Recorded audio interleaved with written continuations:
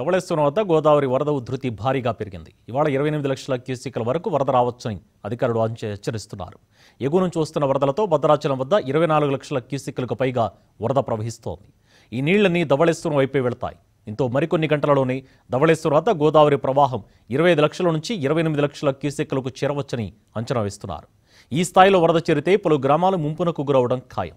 Dhavaleswaram Cotton barrage పంతొమ్మిది వందల ఎనభై ఆరులో రికార్డు స్థాయిలో ముప్పై ఐదు లక్షల క్యూసెక్ల ప్రవాహం వచ్చింది. అప్పట్లో బ్యారేజ్ నీటి మట్టం ఇరవై నాలుగు పాయింట్ ఐదు ఐదు అడుగులకు చేరింది.